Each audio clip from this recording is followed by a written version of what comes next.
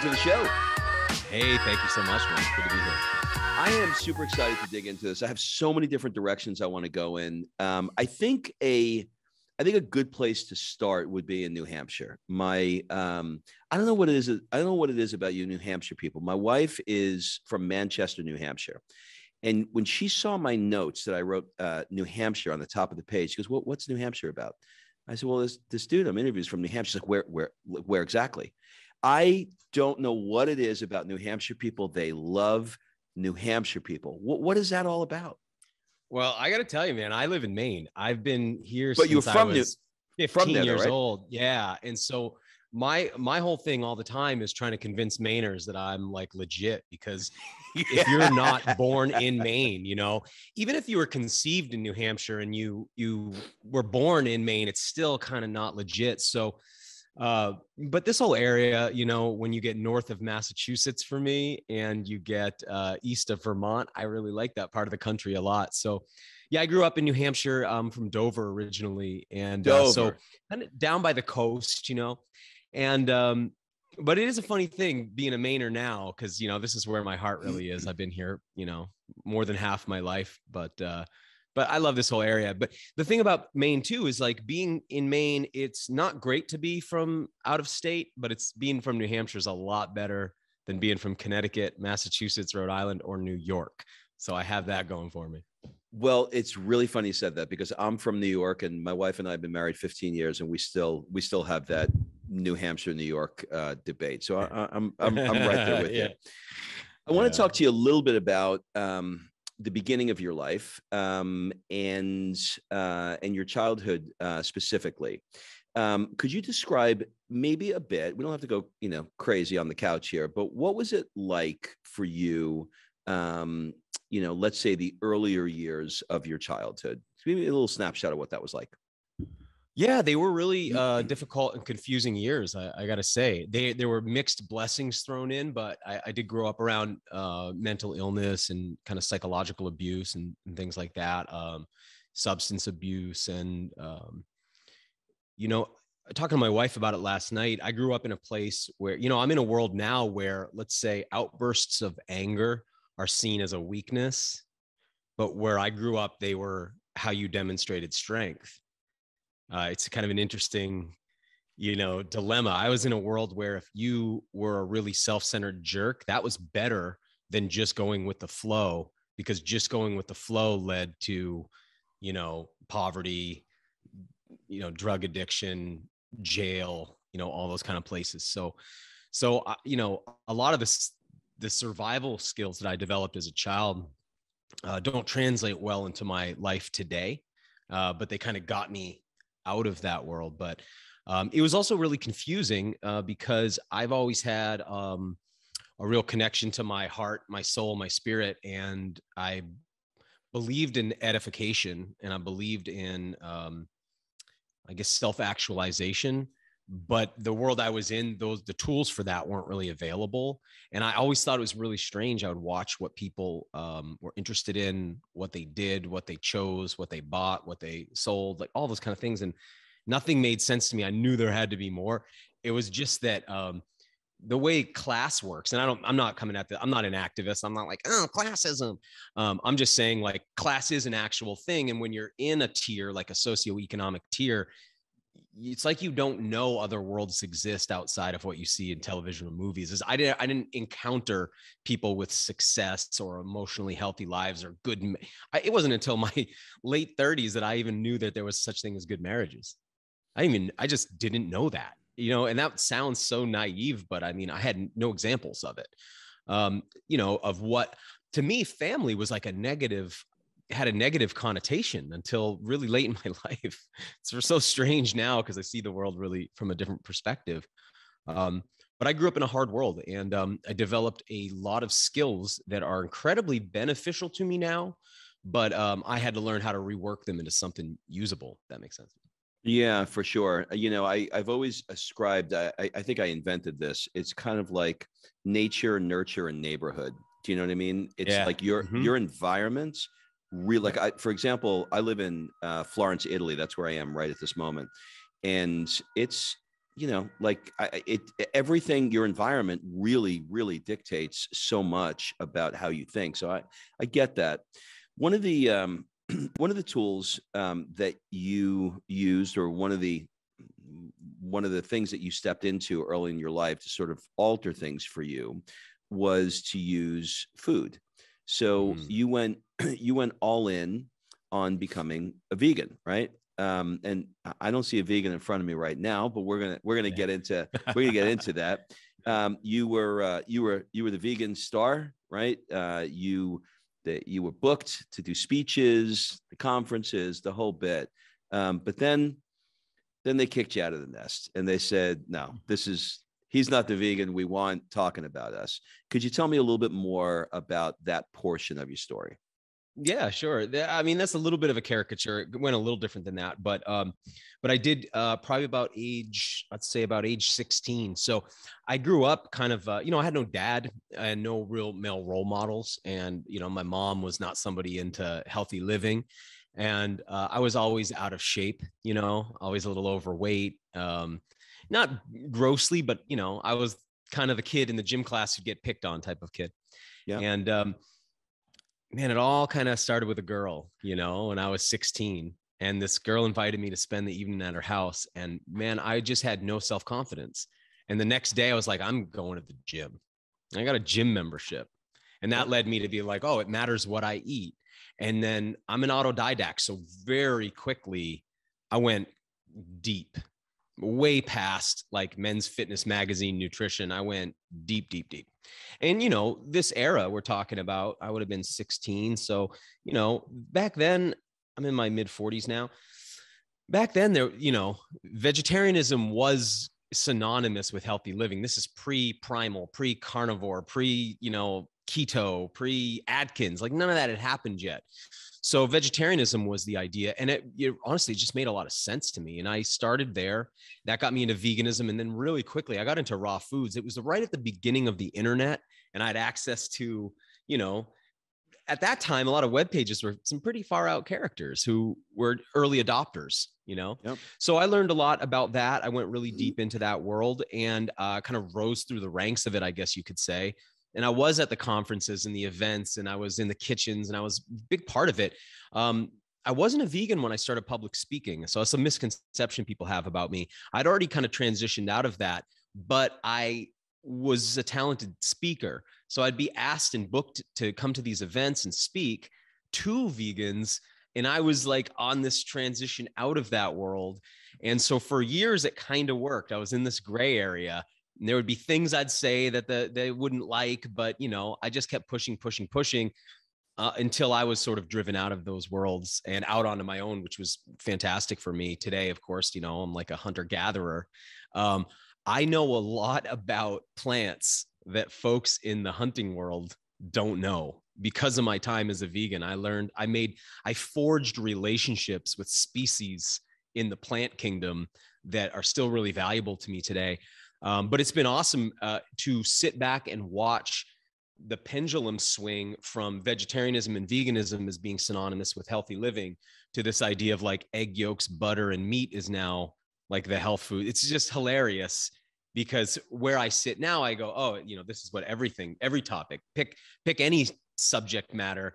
And what Western culture does is TikTok between obnoxious caricatures on either side. We do it politically, we do it socially. We, everything is this way, right? It's like the country is, you know, censorship and then it's all free speech and then that's too much so it goes back to censorship and we just we just kind of do this toggle thing so i learned that through this process with food um, but i also learned food is a extremely powerful if not one of the most powerful transformational tools at least in my toolkit my arsenal and uh, i was able to use food you know, even though I don't subscribe to the diets that I was into then, I was able to use food to change my life. And I've been able to watch, I mean, literally tens of thousands of people over the years.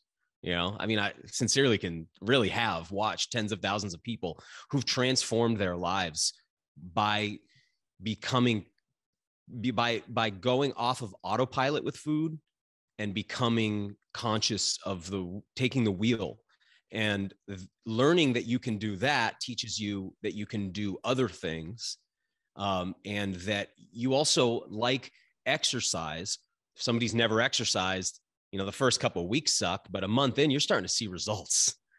And those results motivate you. And food's the same way. You start to change your relationship to food, you see results that drives you onward. And so I learned, I think food was the first place I really learned that I could change my life radically and that um, I could control the trajectory that I was on. Because prior to that, like I said, sort of growing up, just was in a groove where it was really difficult to get up out of the groove and set a new course. Um, but food was my tool that I was able to do that with.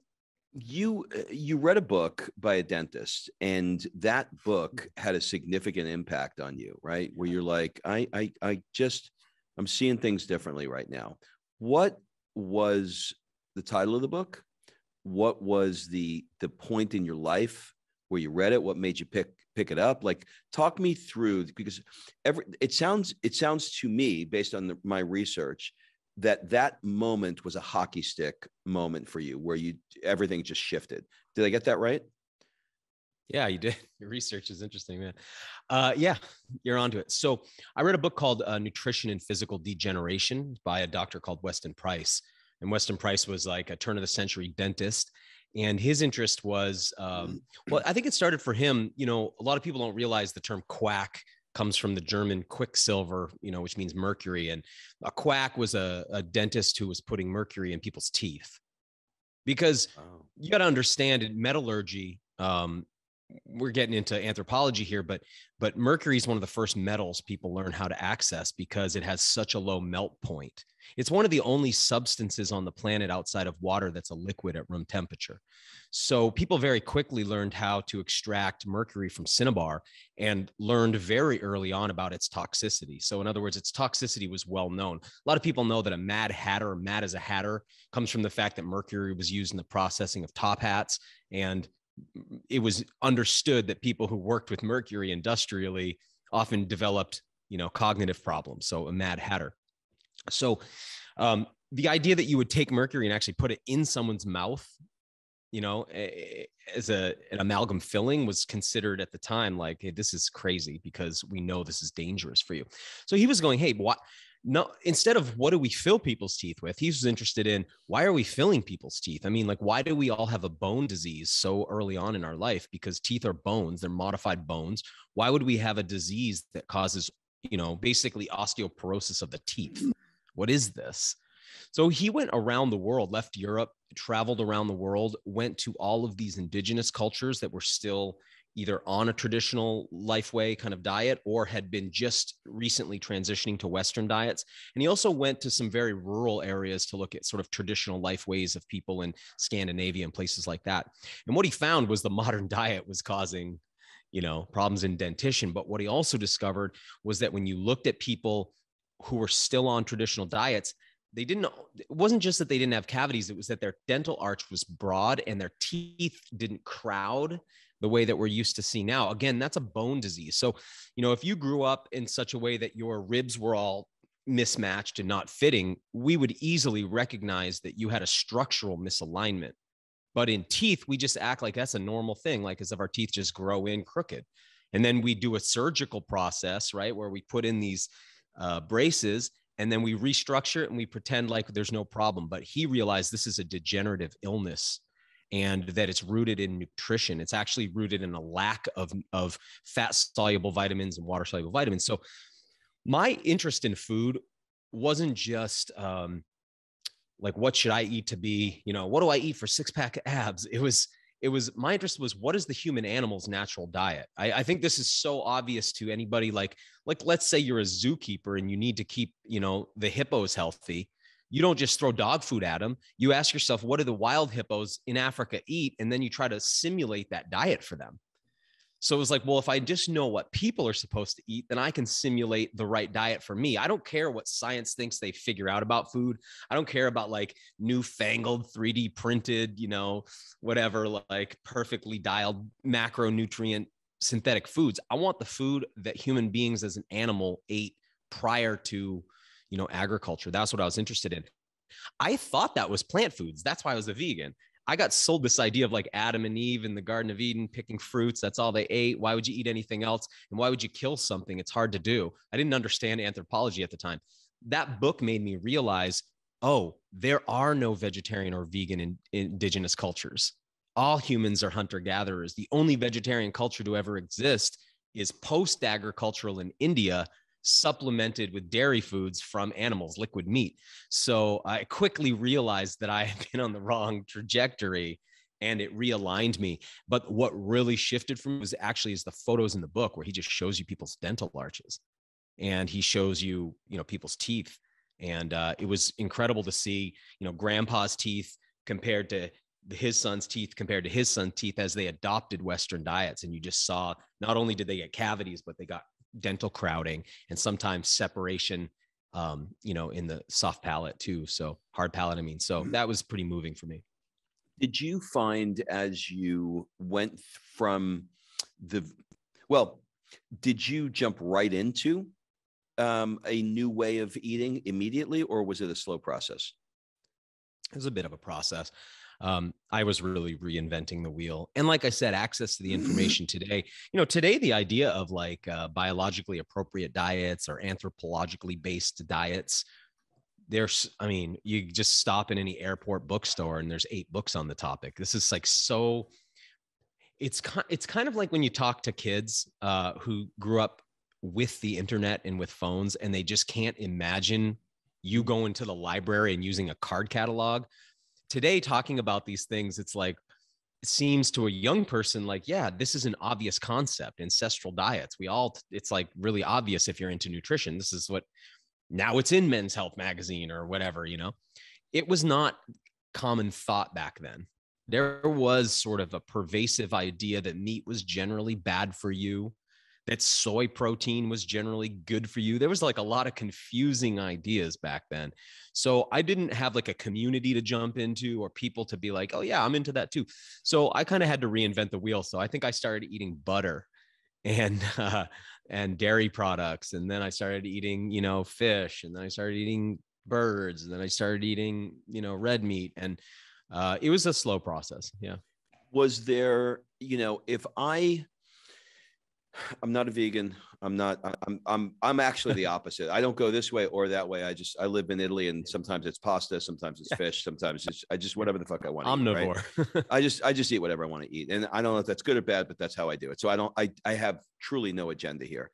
Um, mm-hmm. but did you? Let me ask it this way: When I go out and like, if I have some grilled vegetables or something, I usually feel a little better than if I stuff myself on some other stuff that's not so good for me. I would suspect that when you went from this clean, I'm going to use the word clean, uh, you know, you when you went from that to the other, what was the changes you felt like in your energy, in your sleep, in how you felt? Was it were you improving? What did you feel sluggish? What was the change like? We got to understand like the context here is mm-hmm. that I'm not really into processed foods, you know, okay. uh, as people mean it. it's a, a whole nother story, but uh, yeah. So I eat a really whole food diet, you know. So for me at the time, transitioning to those foods, it wasn't like I started eating French fries and felt really sluggish from that, or I, you know, a big bowl of pasta is going to knock me out. I mean, if I ate a big bowl of pasta right now, I'm probably taking a nap after, right? Got it. But, you know, I'm not, I don't have that issue if I eat, you know, a piece of meat or, you know, a, a bird or, or vegetables. Like it's not, so I didn't experience that. What I had was a lack of protein, a lack of like quality protein in my life. So the results for me were just awesome. and um, I think in particular, I wasn't doing, you know, I'm not somebody who's into doing a lot of blood testing and those kind of diagnostics, but I would imagine there were real surges in my testosterone levels when I began to eat meat again. You know, I certainly experienced um, increased vigor, let's say. Yeah, yeah, um, no, I get it. But I get it. now, also fair to say though, you know, if you went tomorrow on a vegan diet, you're probably going to feel amazing for like six months. It's just that it ta- after a while you start to run out of stores. You're drawing off your brain, your fat soluble vitamins in your liver. You're spending off the bank account, and at some point you look at the account balance and it's really low, and at, you don't notice it at first. And so my accounts started to fill back up, and I started to feel great. Got it. That's exactly what I was looking for. You're you're a good metaphor guy. I see why you're a great speaker. That was perfect. um, what is what is rewilding? Yeah, well, we kind of are sort of dancing around it right now. So let's say uh, we take your dog. Let's imagine that you have a pug or a chihuahua, right? And uh, that chihuahua is domesticated. domesticated is Latin, it just means of the house. Um, now, your pug is actually scientifically is a gray wolf. It's not like a gray wolf, it's not a related species, it's the species gray wolf, Canis lupus. That's the gray wolf that's you know we find all around the the temperate northern latitudes of the world. Okay. That animal can be domesticated into the modern dog, of which there's something like 500 varieties. They're all subspecies of gray wolf. When we turn it into a dog, call it Canis lupus familiaris. So most of us know that the the Linnaean binomial naming system for things. It gets two names, a genus and a specific epithet. We call that a species. So we're Homo sapiens. But when we add a third name, usually that's to denote it's a trinomial. That's to denote a subspeciation. So we'll say the, the wolf is Canis lupus, the dog is Canis lupus familiaris. Now you look at the pug and you don't see a wolf there really. Yep. And if you put that pug out on the landscape, it's going to be food for something it can barely breathe. It doesn't know how to feed itself. It doesn't know how to stay warm. It's lost all of the adaptations to its environment. You know, you were talking before about neighborhood, and it's a good metaphor here because the trust fund, the, the lazy pale trust fund video game kid is hyper adapted to his environment. It's fitness. He's not adapted to the world you live in or I live in, and he's not adapted to the outside but he is adapted to his condo with uh, it's actually supremely adapted to his virtual world and his does that make sense? Like a, just, pug I, is actually i'm just i'm just blown I'm, I'm blown away by the use of those those six words. Lazy pale trust fund video kid. That like we can end it right there. That was word conser- you got it all now? that was word conservation going? like I, am still like you had me at hello on that. That was really good really good. Sorry, go ahead. I'm glad. I'm glad. well, what I'm trying to say is your pug is really adapted to your, let's say, your Italian townhouse. He's yep. just not adapted to being actually on the planet anymore. He's yep. adapted to the built environment. So it's a gray wolf that's been changed. Similarly, Homo sapiens sapiens, that's our current form. We're a species that's 300,000 years old based on current archaeology and genomics. And we are from a lineage homo that's a couple million years old. Only in the last really few thousand years have we gone through this really radical transformation to living in the built environment and to, becoming so domesticated.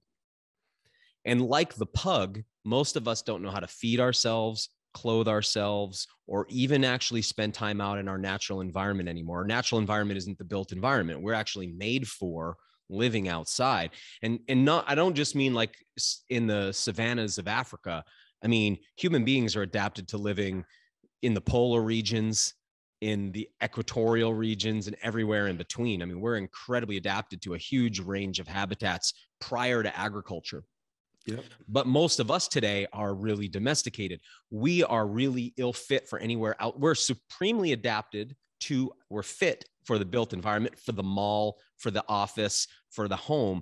But you put us outside and we mm-hmm. carry so much equipment that we look like astronauts going to another planet. Yep. Because we act like our natural habitat is a foreign and hostile world.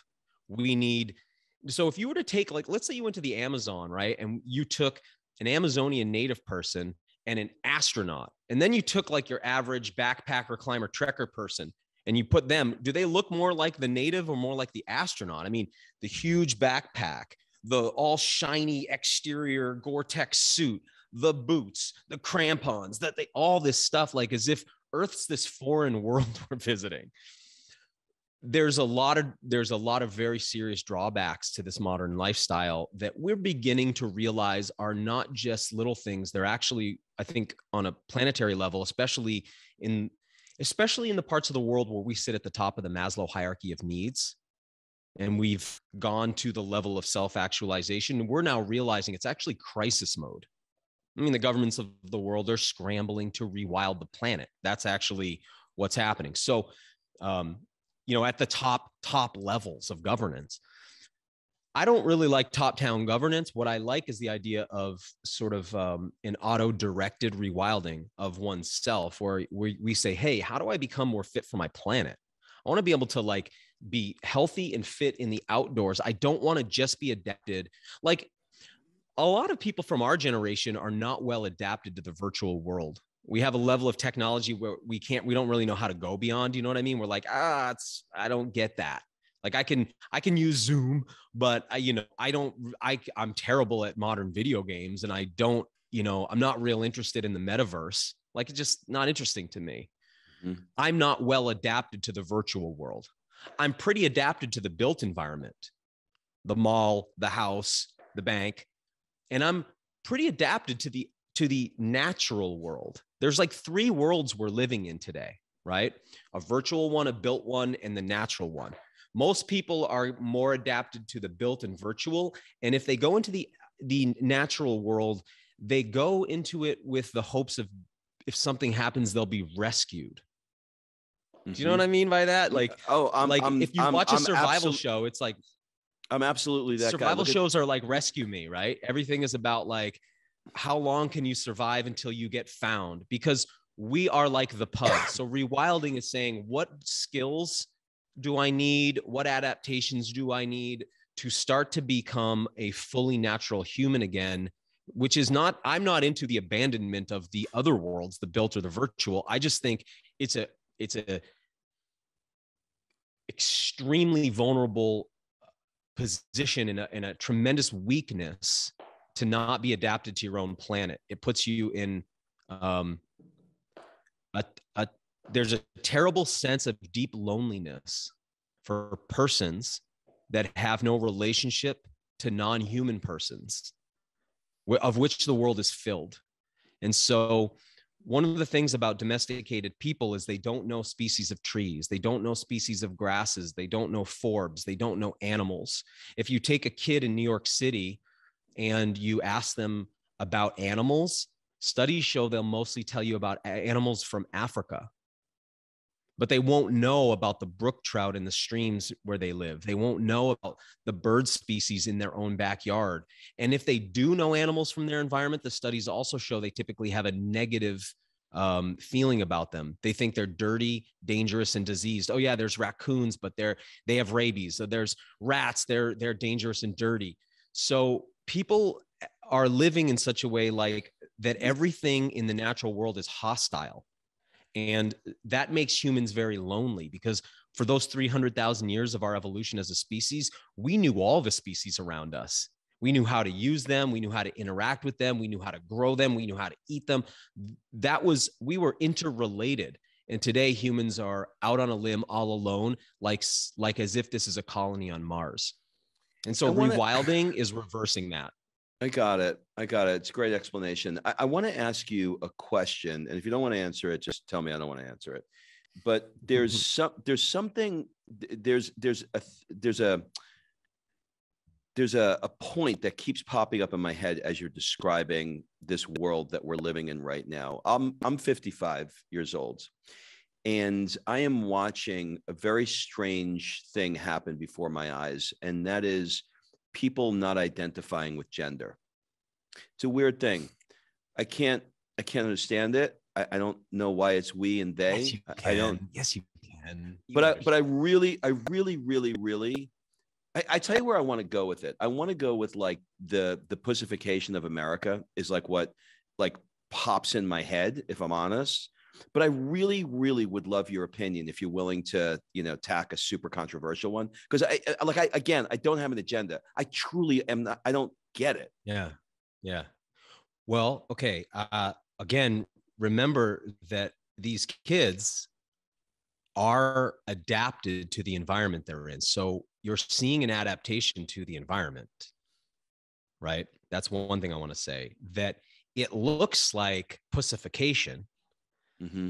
But actually these people are more fit in the modern social environment than you and I are. We're the uh, dinosaurs now with our old way of thinking. Now, I, it's not that I agree with this way of thinking. I want to be clear. Like, I have trans friends and I love people. So this isn't about, I don't care really. Yeah, me too. But I Me also too. believe in biology and the idea that when I when I watch David Attenborough describe wildlife, he shows you the males and the females. right. And there's never this, or extremely rarely are there any cases of like what somehow are humans animals or not? Are we from this planet or not? Are we are we ancient astronauts from somewhere else? Because if so, okay, maybe. But here on Earth, things are pretty gender polar. So, and of course, there'll be arguments here. People will say that all gender and sex are different. That's a very modern mental construct, in my opinion. But they'll say, oh, you're talking about sex, male, female, not gender, male, female. Gender is a thing you identify with, blah, blah, blah.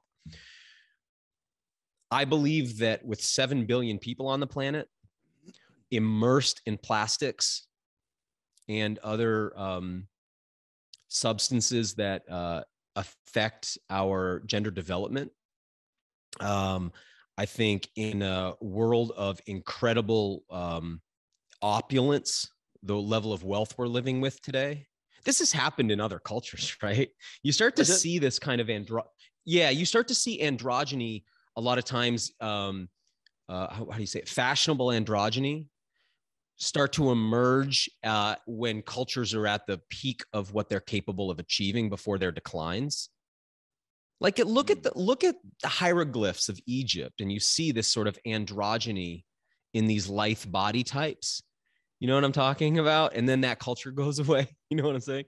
We've reached this point where I think that uh, you're more, you're in a way more fit by being androgynous. We are in a mismatch of of every kind of time period and fashion trend. Everything's all mixed together. We're in this time where where you you wear a top from the 70s and pants from the 60s and a hat from the 90s and the music is from the 80s and everything's all just like mixed together. We're mixing all of the the things that used to exist in discrete categories Mhm. because we've reached a time where we are no longer relying on the wisdom of our ancestors. We're no for, we're no longer reliant on each other for survival and where the ego dominates. And in that environment self-expression becomes you got to understand that for 300,000 years, humans lived in tribal environments where the number one taboo is the expression of ego.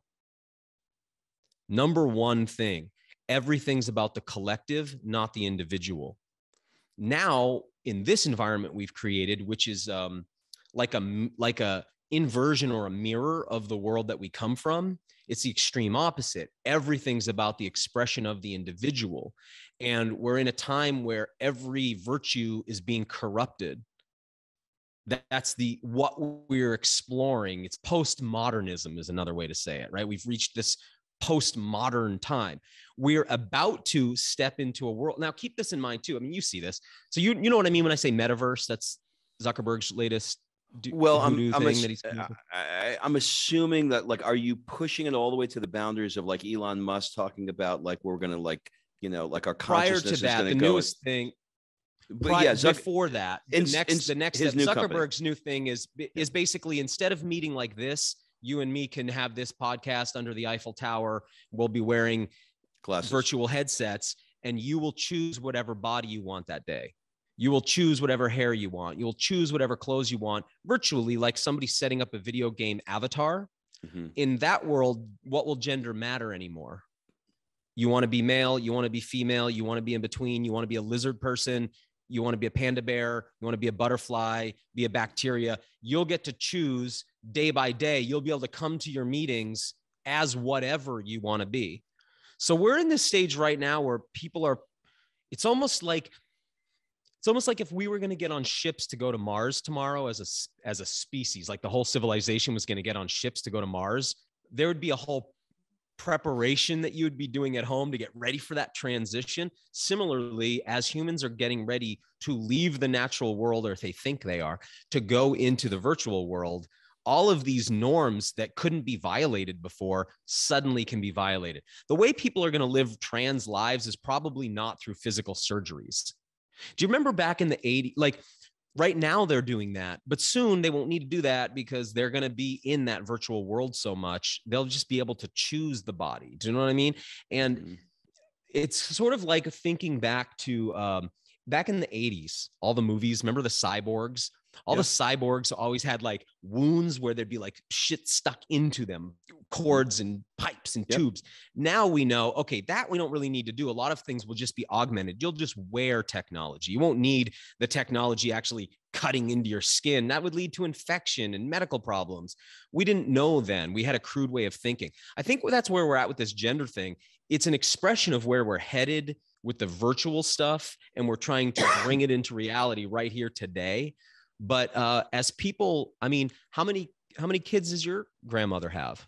Mine had nine. Uh, one, two, three, four. okay. Mine had nine. My mom had three. I have none.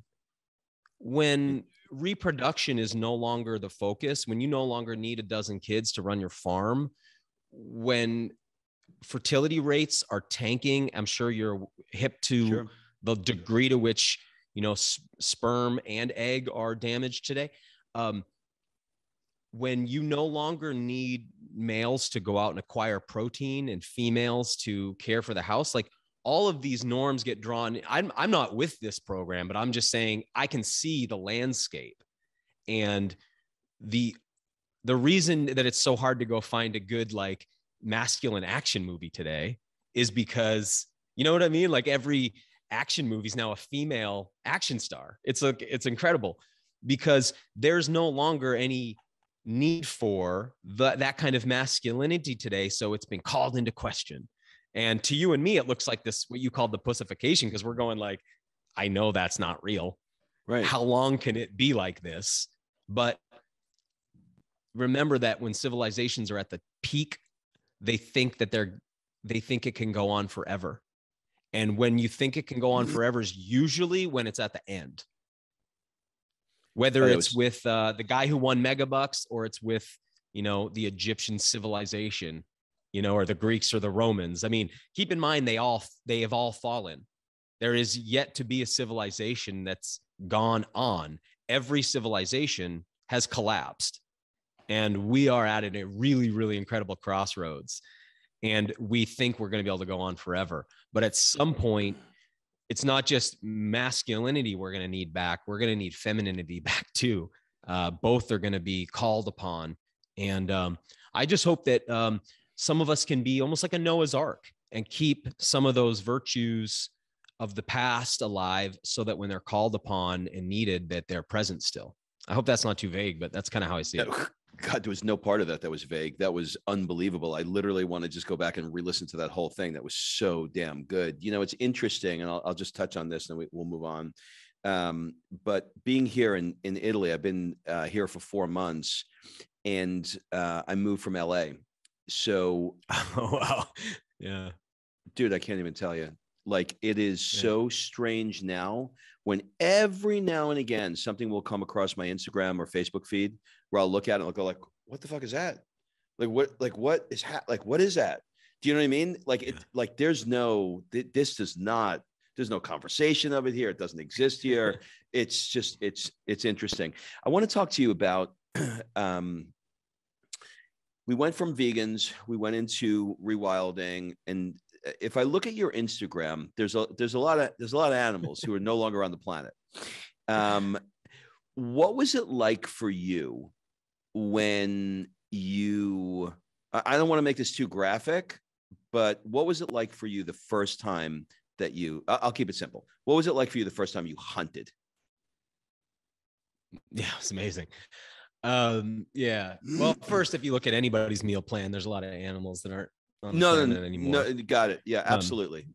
But but, they're uh, not. but they're going but to but they're I'm going to Burger King. Right. So I'm in it. I think that's Yeah. kind of really at the heart of your question because I'm right in it. And Yep. so I watch, uh, you know, I was, um, I'm in post production for the second season of my TV show. So I'm watching an episode last night um, and doing the voiceover for it. And I kill a bison on the Standing Rock Reservation in, um, in North Dakota, South Dakota.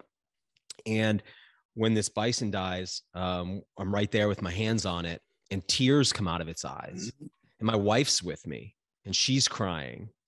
And there's a, a friend of mine, Travis, and Dakota, um, guy from the reservation, who's um, he's saying prayers in Dakota, and you feel almost like as if you were watching. Now, this changes based on the size of the animal. I hate to, I know, I know it sounds hierarchical, but it's like if I kill him, when you kill a mosquito, you probably you're not saying like if I asked you like how'd you feel the first time you killed a mosquito, you're like, dude, don't even remember.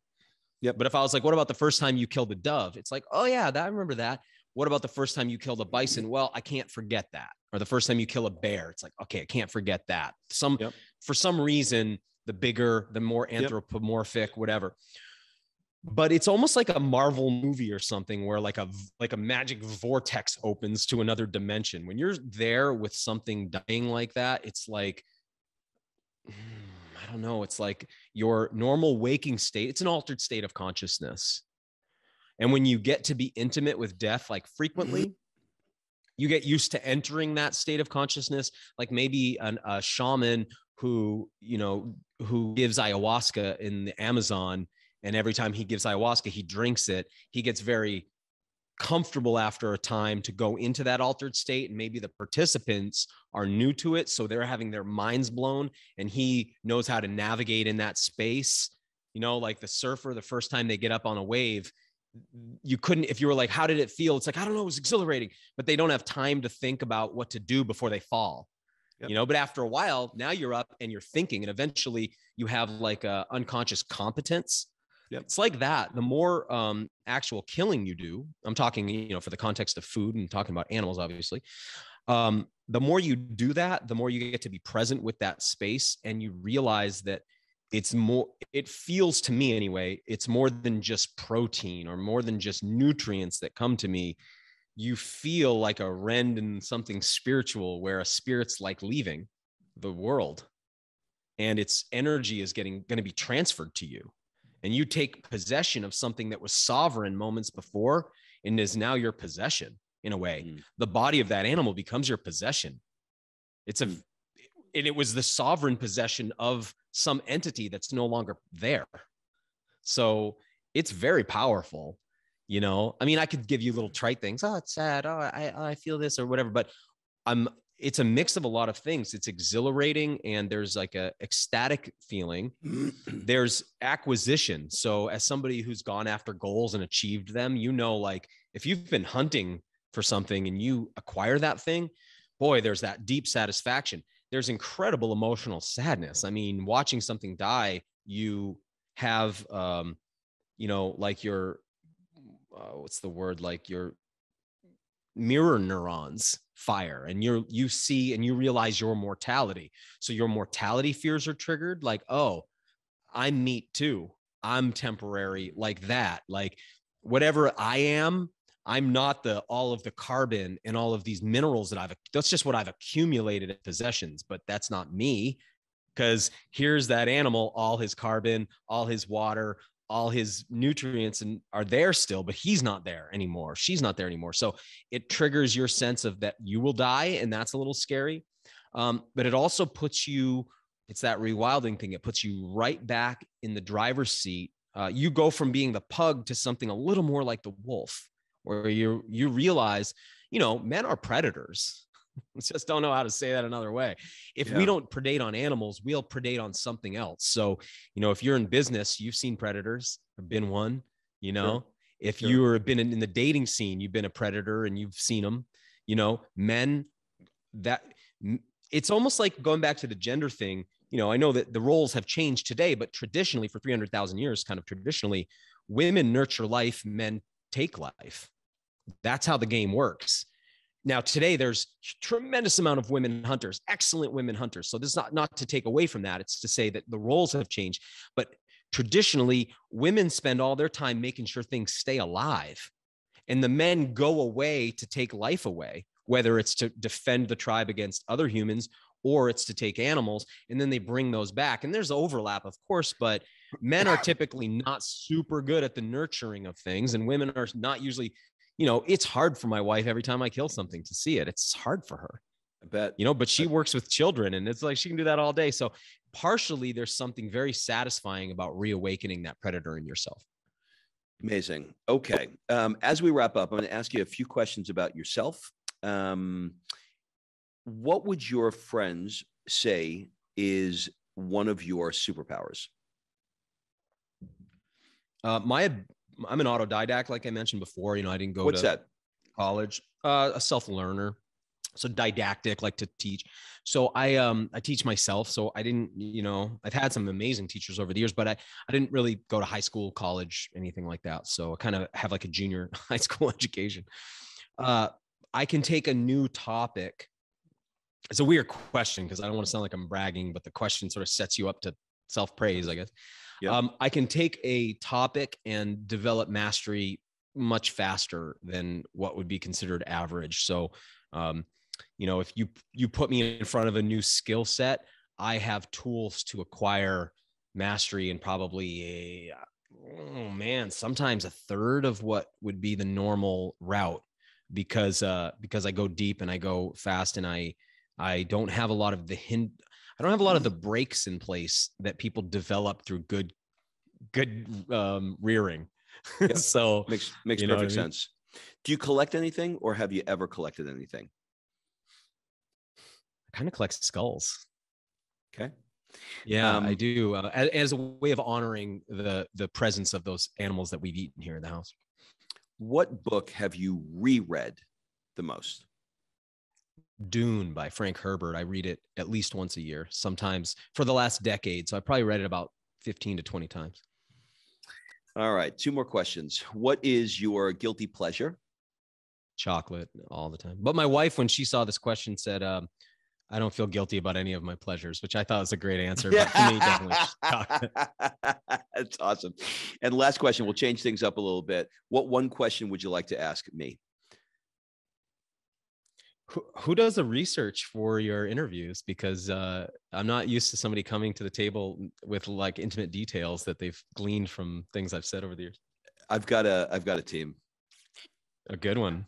Yeah. I are you uh maybe one more. Um are you uh are you enjoying uh the uh, the world of television? Yeah. I mean, I'm on Outdoor Channel. It's like on the fringes of television. Yeah, Uh, it counts. and and they are uh, incredible because they don't uh, they don't get in the way of my process. I, I don't have a showrunner or I don't have this you know huge team. I get to do this. I have like the cake and eat it too right now. I mean, I basically get to make this show with a very small team. Nobody really over no oversight about it, um, and uh, and I can I get to speak freely. It's amazing. They, they're incredible. So I'm loving it, but I can't speak to what you know the rest of the TV experience would be like. I have a feeling I would struggle because I I'm not really. Uh, I'm a pretty defiant character. So if I had a lot of rules, I, I think it would be hard for me. You, you are um I've done 400 of these now and you are uh, you've done a thousand so maybe that's why you're so good. Um but uh you are one of the most uh articulate um well spoken Oh. I'll say another way um interviews Thank I've ever had. I mean, I truly Wow. like I I feel like you hijacked my brain and I didn't want you to let it go. Like I I felt like I, I truly feel like I'm coming away from this interview uh, a, a better person and more Wow. understanding the world better. So thank you for that. That was beautiful. Really good. flattery, no, man. Uh, no flattery, bullshit. you know? No bullshit. Thank I, I really, you. I you're really saying you're that. you're hitting my high points. Those are those are the, that's the most meaningful praise. Thank you for me. It was. personally. Thank you. beautiful. Do you have any final words, suggestions, or an ask for the people that are listening? Man, this is your one time being alive. It would be a shame to be at the end of your life and realize you hadn't um, actually got to know the world outside that built environment. So even if it's just taking a walk through your your local park and maybe veering off the trail a little bit, I really, really recommend, especially at this transitional moment in history, that people start to engage the natural world because it is ultimately what we most of us are really looking for and we're trying to surrogate it with other things and those things will never be it um, because you need to have interactions with an intelligence greater than your own or other people. Amazing. We'll link everything up in the show notes. We'll have people go watch your show. Thank you for taking the time to do this with me. Yeah man. Thanks for having me. Appreciate it.